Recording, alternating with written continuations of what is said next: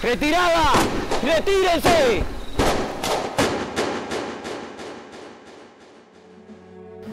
El 25 de julio algunos salieron a caminar por la ciudad.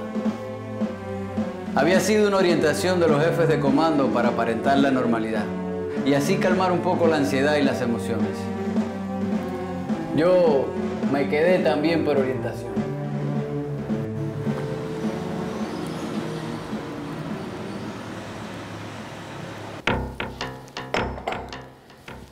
Mis compañeros transitaron la ciudad de Bayamo sin llamar la atención. Era una noche tranquila. Creo que ningún indicio delataba lo que sucedería horas después.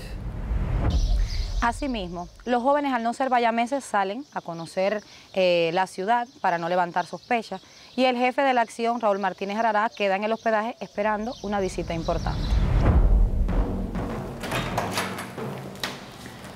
Esa noche, un view parqueó a 60 metros del hospedaje. La silueta de un hombre en la oscuridad se ve atravesando la calle. Era Fidel.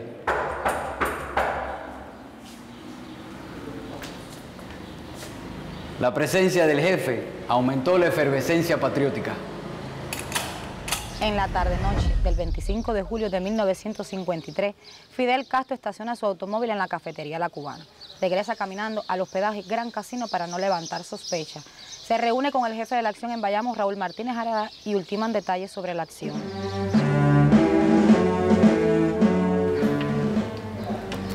Esta era la segunda visita de Fidel a Bayamo durante la preparación de la acción. Anteriormente se había reunido con los mineros de Charco Redondo encargados de suministrar las dinamitas para explotar los puentes.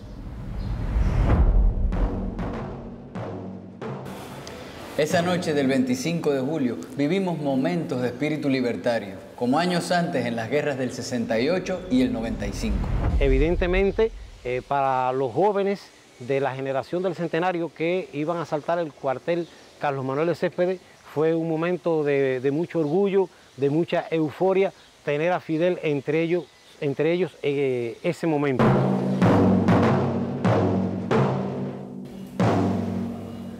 Finalmente, cronometrados los relojes y dejando todo dispuesto, Fidel se despide de nosotros y parte a Santiago de Cuba. Recordemos que el factor sorpresa era determinante. El encuentro entre Fidel Castro y Raúl Martínez Arará precisarían la hora exacta en que ocurrirían las acciones, 5 y 15 de la mañana.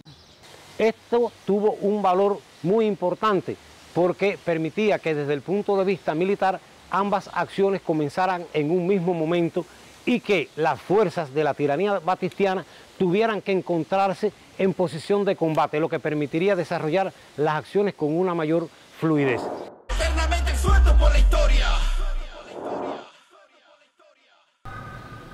A las cinco y cuarto del siguiente amanecer, la generación del centenario, al unísono en Santiago y Bayamo, firmaría con sangre y fuego la fe de su existencia. Tierra se dolió por los desmanes existentes y sufrió su gente entre injustas condenas.